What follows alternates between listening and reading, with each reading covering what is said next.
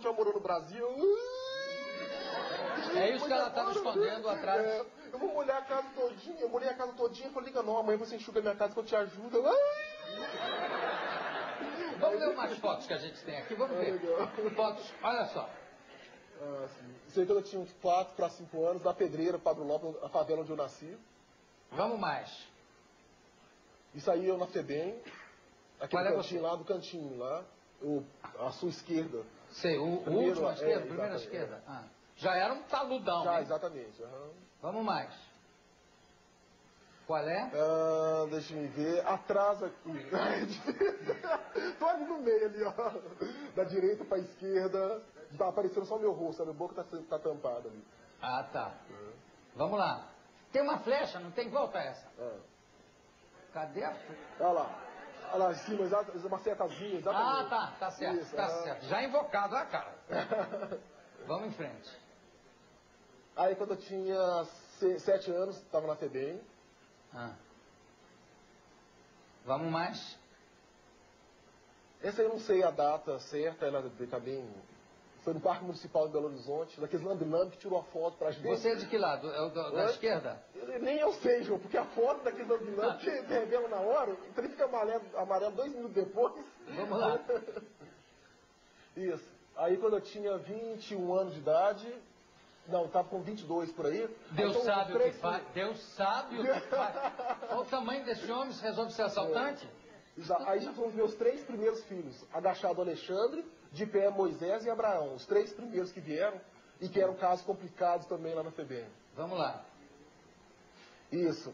Aí do lado tem o Flávio, Josafá, é, Esse menininho sorrindo ali. A Isso é o Josafá. É o Josafá. É, Marco Túlio e Gilson. Vamos mais. Aí é o processo de construção da casa. Nós temos uma casa bonita, três andares, estilo colonial, com piscina, que nós construímos, tá? Sim. Ali é o Alexandre, Vanderlei e Flávio. Tem mais? Isso aí a casa estava em construção ainda, Olha que barato. a turma toda, né? Vamos lá, tem mais duas fotos aqui. Isso aí a casa semi-acabada. Olha que, beleza, vocês que Foi, fizeram. nós fizemos todo projeto e construção, pegamos um tijolo. Vamos lá. Mais uma. A Francine, Olha a Marguerite. Onde é que anda a Marguerite? ela faleceu, infelizmente, quando tinha 21 anos de idade. Olha só. Né? Uma figura inesquecível. Não, com realmente. certeza. Meu anjo de guarda. Eu coloco até no livro, que o meu livro é verdade, meio biográfico, né? Eu conto que eu era tão danado quando era pequeno que Deus teve que mandar o meu anjo de guarda vir pessoalmente para dar cabo de mim. O, o- o Roberto, como é que é a história que você escapou da morte, o negócio do, do- do trilho, como é que é? O negócio que você tentou, tentou, tentou se matar? Deitou no É, trilho quando do eu trem? tinha 12, 12 anos, ia fazer 13, estava fazendo 13 anos, eu achava que a turma de que estava só fumando maconha estava por fora, eu queria outras coisas. E foi então que eu conheci essa turma de rapazes maiores, tinham 17, 18 anos, inclusive cabelinho de fogo. Os caras tinham 17, 18 anos de idade. Era uma turma terrível. E, e eu achava que já tinha 12 anos, já era malandro o suficiente para fazer parte daquela turma. Tanto é que eu cheguei lá todo cheio de impável e falei assim, não, eu tenho 12 anos de idade, eu fumo maconha, cheiro de cola de sapateiro, né, roubo corrente. Dei meu currículo todinho, né, para ele avaliar. Ele falou, tá bem, fica por aí, vamos te dar um teste para você ser bom para ficar na turma. E eles como roubavam até caminhão de cigarro, aquela coisa toda, eu não sabia. Eu achava que o meu teste era cometer algum assaltozinho, roubar alguma coisinha. Que, na verdade eu estava cagando de medo, né? Mas tinha um processo que era, a turma quando recebia o novato, para ver se esse novato era homem suficiente para ficar na turma, eles faziam um teste, uma prova de fogo. Tudo que a polícia fazia, quando pegava um pivete na rua, a turma fazia primeiro. Se esse menino não pedisse arrego, sabe, se não, não, não, não pedisse trégua, é, significava que ele era durão para ficar na turma. E a prova de fogo podia ser, o grupo do- dos, dos veteranos defecava no chão, o novatinho tinha que comer o cocô de todo mundo, podia ser espancar o novato, estrupá-lo, jogá-lo no esgoto que tem no centro de Belo Horizonte para ele nadar no meio das fezes. A polícia fazia isso. Tudo que eu pe- pegava, o menino pegava a costa sapateiro, joga- jogava no cabelo do menino para ver tudo colado. Eu não sabia que tinha esse ritual de iniciação. Estava lá sentado debaixo de adultos, os caras usando muita droga. Eu falei, maconha eu não vou usar porque senão eu vou ficar muito lerdo, né? Para me dominar a turma tem que ficar legal.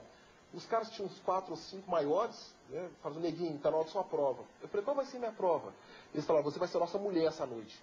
Eu falei, ah, não tem jeito não. Eu sabia o que que era aquilo. Levantei, eles me derrubaram no chão, uma rasteira, o outro veio quebrou um cabo de vassouras nas minhas costas, que eu vi literalmente estrelas. Um outro tinha um calçado João, chamado quichute, tinha uma ponta emborrachada, ele me chutou o rosto com aquilo, hum. né, que o sangue começou a jorrar no meu rosto. Eu tentava correr, não conseguia, tentava respirar, não conseguia. E naquela noite me bateram tanto que me deixaram cair nos trilhos da rede.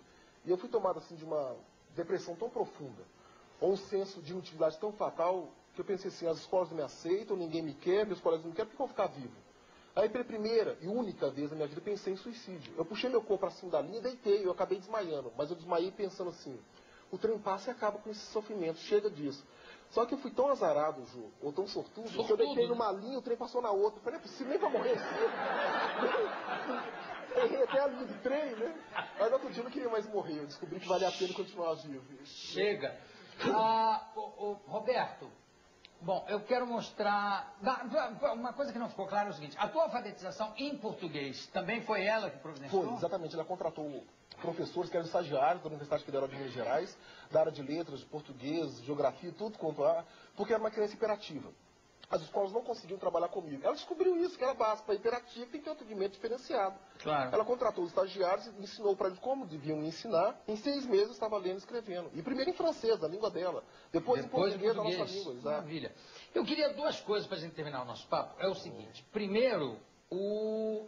tem, se eu não me engano, tem um, um comercial para ah, passar. Ah, exato. Né? Vamos ver o comercial? É o melhor do Brasil brasileiro. Eu era garoto de rua. Meu sonho sempre foi ter uma família.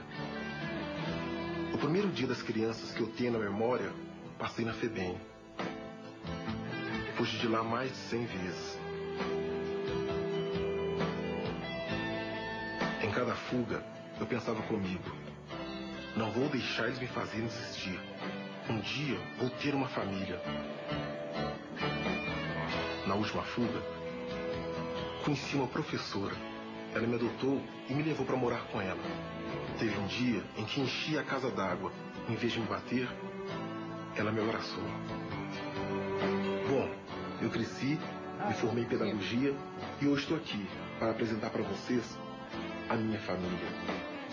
Roberto adotou 13 crianças de rua e hoje é considerado um dos maiores especialistas em literatura infantil do país.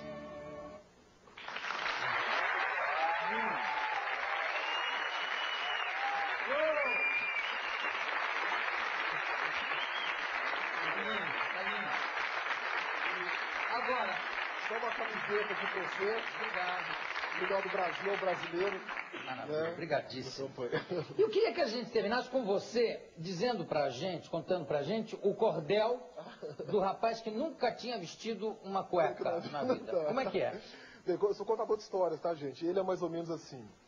Eu já era um cabrão taludo, ainda meio bunda mole, mas era frouxo que nem fole. Rapaz, eu tinha um medo de mulher que parecia um mané. E parece nem ser verdade, mas já ficando careca, eu não usava cueca nem quando ia pra cidade. Só depois que eu comecei a namorar com Benedita, é que eu fui na cidade, comprei uns 15 metros de chita e mandei a velha loura desmanchar tudo em cirola. Não pros modos de arrancar toco. É que às vezes o namorado precisa ser armado e a cueca disfarça um pouco, né? Aí então, eu fui no domingo cedinho pra casa da namorada, porém no meio do caminho, eu precisei fazer parada passar um telegrama, corri para trás de umas ramas lá dentro do matagal. E pra cueca nova não sujar, eu tive então que tirar e despendurar num pau. De serviço terminado, e eu me vestir, e por não ser acostumado, a cueca eu me esqueci. Montei no jegue apressado, quando de pano rasgado um estalo escutei. E eu pensei, ô oh, cueca falsa, mas larga que foi a minha calça que descosei um par no meio. Aí eu senti um vento gelado, bem na porta da cozinha. Eu pensei que ia de rasgada a cueca que era quentinha. Saí com os de fora. Ainda por cima balancei as esporas na barriga do jumento. Quando cheguei, Benedita, mais a mãe expedita, me mandaram entrar pra dentro e trouxeram por desaforo um tamburete enfadado, desse contexto de couro. E o bicho estava furado. Ah, só deu tempo de eu me sentar para meus pissudos passar por um buraco danado. E eu lá de perna cruzada, sem estar sabendo de nada, os troços de pendurado. Acontece que nesse de tamburete, a véia tinha limpado um galo que de porrete o véia tinha matado. E quando a velha deu fé, disse para a filha, mulher, valemos São Gonçalo, nós lá vamos na carreira, lá está o papo do galo apregoado na cadeira. Você vai conversar com o rapaz, por modo de se entreter, que eu vou aqui por detrás para ver o que posso fazer. Dei fé, chegou Benedito com umas conversas bonitas, umas prosas, arrudei. Foi quando eu senti o patrão lá no fundo, o repuxão que eu fui na lua e voltei. E a Beth ficou puxando com uma força moléstia. Benedito conversando, eu só franzindo a testa. Me danei logo a suar, com vontade de gritar, de chorar, me deu veneta. E Benedito conversando, tapiando, me espiando, eu só fazendo careta. E a Beth resmungou, ué, no papo não tem nadinha. Aqui dentro eu tô notando os dois ovos de rolinha, mas galo comendo ovo, vou ter que contar pro povo. E sacou de uma peixeira. Ah...